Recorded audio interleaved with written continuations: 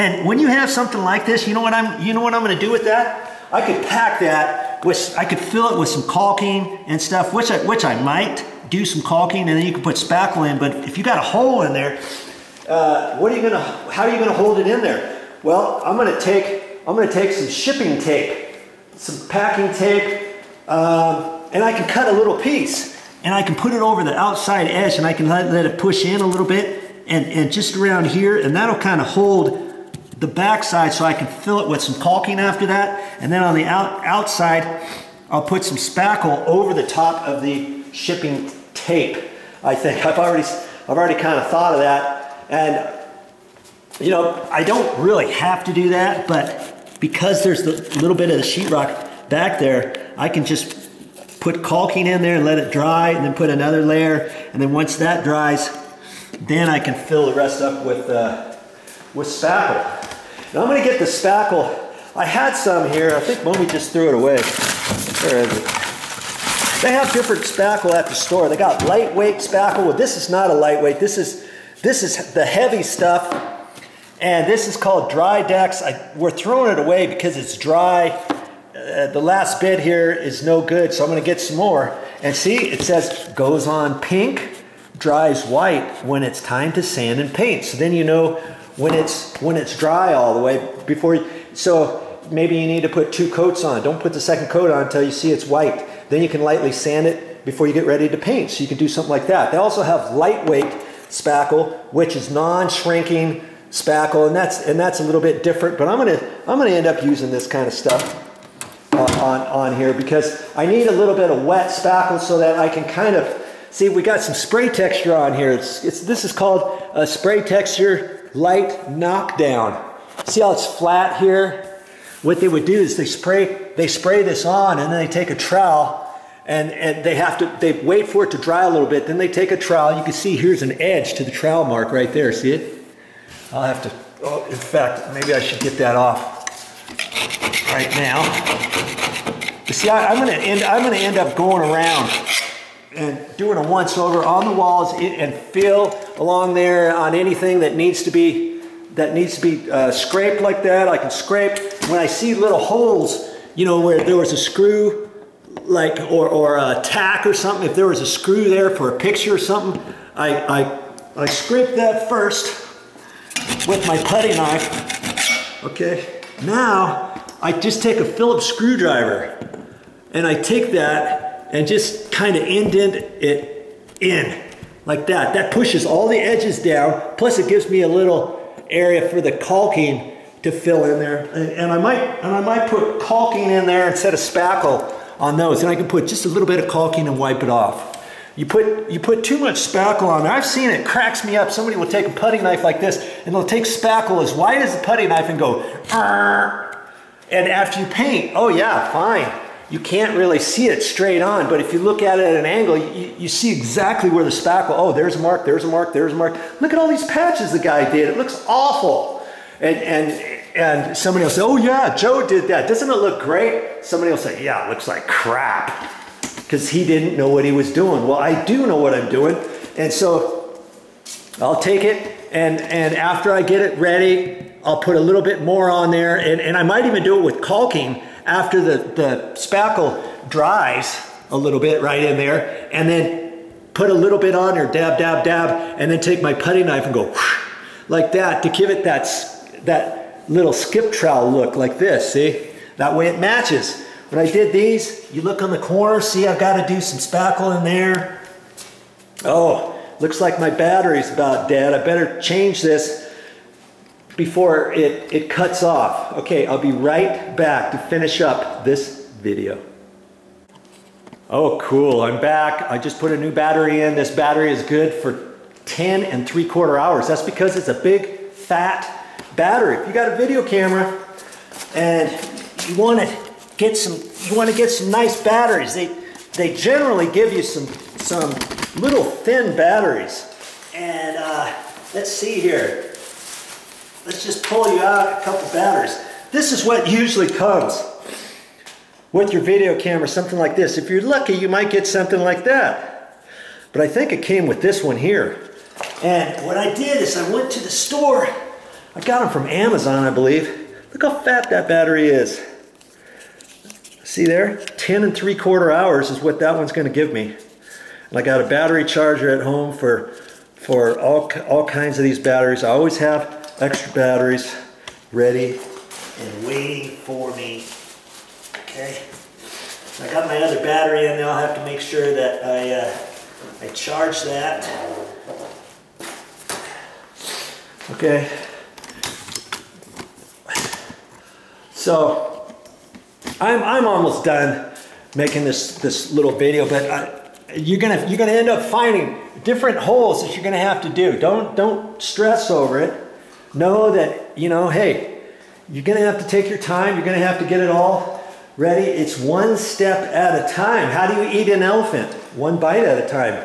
How do you do a paint job like this? One step at a time. Just concentrate on one thing, one thing, one thing, one thing. And uh, there's all there's all kind of like a sequence in, in what has to be done. And I'm still in the middle of it. Mommy went to the store and she asked me if I'm good. I, I was going to get ready to do some caulking and I was going to do some spackling, but but we, initially we had a guy who was going to help us. Crack me up. He, he said he was a contractor, and I don't know if he's a, a real contractor or not. He didn't have any tools with him. He, he went to the store and got some stuff, and he didn't have anything with him. And you know, here, here's one of here's one of the things. He got some caulking. Okay, that's good enough, but he got clear. I am not going to use clear uh, when I need to do all this caulking because then uh, lots of times it doesn't cover in one coat. But so I'm going to use I'm going to end up using white, and I don't necessarily have to use Dynaflex 230. I can use I can use something else. I'll go back to the store and and see. This is for like exterior see window door siding and trim. I mean, I could use it for here, but I'm going to use some painter's caulking probably, and I, it'll probably be Alex Alex Seven or I, I forget what what I end up using. Oh, I got I got one right over here. I ended up bringing some. See, white from DAP. This is called Alex Plus, and this is 40 year. They have 20, 30, 40 year and stuff. This is this is windows, doors, molding, trim, baseboards. This is like a painter's caulking. They also have another one that doesn't have, and it's a paintable all-purpose acrylic latex caulk plus silicone, but it's paintable. Usually, if you get clear silicone, you can't paint over that. Make sure you get something that is paintable. And uh, painters usually will use something a little bit less than this. It's, it's more dry. It's not as, as shiny as this, and it doesn't have any silicone. So you can use either or. It's no big deal you know, so anyways, uh, he, he, ended up getting some blue tape and he got the real wide tape. You know, this is only three rolls, but got a little bit thinner tape. You probably get about six rolls for uh, maybe the same price as that tape. And so I'm going to end up taking that back. I, I had one small little roll of tape here. Here, here we go. This is like inch and three eighths. I think they, I don't know if they call it inch, inch and, uh, they might call it inch and a half, and it's actually a little bit smaller. This is like inch and three eighths. And um, I ended up, I'll use that for some stuff, but I need some more. I, I could use regular masking tape or I could use the blue tape. Regular masking tape is cheaper than the blue tape and um, it works almost as good, but I'll, I'll, probably end up getting the blue tape. The blue tape's a little bit more expensive. The, the thing with the blue tape is you put that on there, you can leave it on there for four or five days and then pull it off. Supposedly without without it peeling up any of your new paint or or your old paint or something like that. Whereas if you use regular masking tape, uh, and if you leave it on there too long and you pull it off, it's going to be it could be sticky. It might not come off all the way. You might be you know, saying a few choice words, thinking I knew I should have used the blue tape that Joe told me I should use at the store. Yeah, something like that. See, here, here's some more patches. I, you know, once I start doing cleanup and stuff, I, I, I can kind of see the different things that I'm up against, and I'll and I'll look at all this stuff. I, I've got some marks on the walls, and I ended up not having any Kilz primer, so I'm to get some Kilz primer at the store. So when I see any any marks that I don't think I can get off with my putty knife, let's say, or my, uh, my simple green, then I'll go back and, and I'll, I'll dab a little bit of, of, uh, uh, Kilz here, here, here, you know, wherever I have to. And then when I get ready to paint, this is all semi-gloss paint. It's designed for one coat, but before, you know, when I get in there with the roller, I'll, I'll hit all the areas that I put primer on first, where I did a little spot primer. That way I already, got one coat of, of finished paint on there. And then I'll go around and start doing the whole thing with the roller. And then when I come to it, I, I'll be able to throw a second coat on there. That's how I'll end up doing that. Okay. And so, you know, lots more things I could tell you, but you get the, you get the idea, I think. You know, hey, you don't have to hire a contractor. If you hire a contractor to do this job, they'd probably charge you $15,000 or more. And that, that doesn't include the carpet. The carpet would be, oh, that's a carpet guy's uh, thing. We're ended up, this is a four bedroom uh, house. No, no carpet in the hallways or anything, obviously. No carpet out here in the kitchen or the, uh, or the dining, uh, dinette area or the living room, family room, whatever you want to call it. Uh, it was like less than $1,200.